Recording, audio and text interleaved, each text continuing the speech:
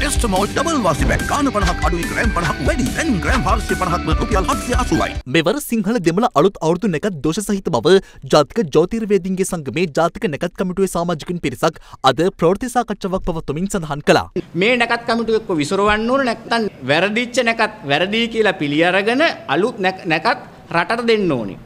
නැත්තම් අපි අනිවාර්යයෙන්ම රටට විකල්ප නැකත් දෙනවා. අපි නැකත්වල හෙළුව පෙන්වනවා රටට. ඒ තරම් වැරදි තියෙනවා. නව සඳ බැලීමේ නැකත්වල ඉඳන් සියලුම නැකත් ජ්‍යොතිර්ය විද්‍යාවට අනුව සංහිතා ග්‍රන්ථවලට අනුව වැරදි. අද දෙරන YouTube නාලිකාව YouTube අද දෙරන දැන්ම සබස්ක්‍රයිබ් කරන්න.